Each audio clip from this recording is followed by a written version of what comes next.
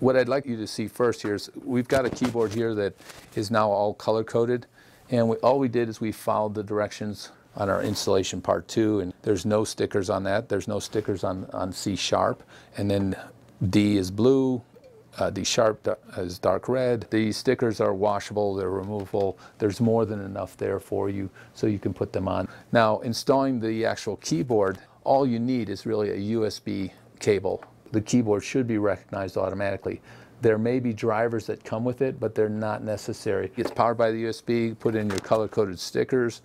The installation is normal. It's, a, it's an auto run in Windows. You will need administrative rights. As for Mac, it'll show you two folders, one with the uh, Piano Wizard Academy and one with applications. You simply drag it over into that. And both types of installation are on the CD. So you've got a setup opportunity here, and I've already set this up and selected myself. And I'm going to go into Premiere mode. You have the help files over here on the left. Each section has its own help files. But keyboard setup is very important. And you see the first thing is a sound output device, and that should be set automatically for you. And then the MIDI input device, you might have multiple keyboards that you're using. And there's a keyboard size test down here. And so I click on that when I first install it, and it's asked me to press the first key to the left is, is what we mean by that.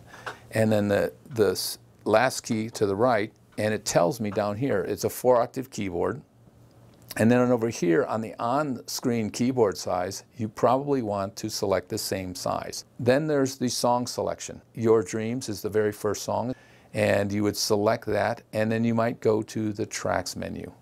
The tracks menu shows you track one is set to play. All the other tracks are set to accompaniment. But if I wanted to play both hands, I could select right as the track one and left is track two. So now you see this is highlighted down here. So I've got left and right hand. I have over here the ability to choose different sounds. Once you've set up your song, you're really ready to play.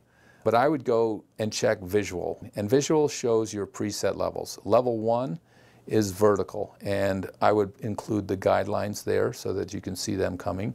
And I would not include the fingering, so you just have color coding. These are the default settings, and you're ready to play. The kids always want to pick a world. We've got a, a, future city world, we've got an underwater world, we've got a space world, and they have different game objects. I always recommend when you're starting to use the shorter game objects. You don't have to hold it down for the prescribed length. That's a more advanced function that we call the legato challenge. And you might check the audio.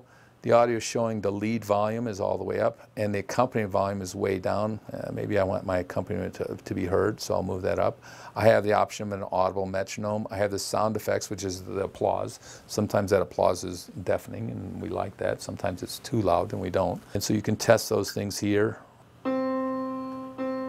When I play, I've got a color-coded keyboard up here. I've got a color-coded keyboard down here.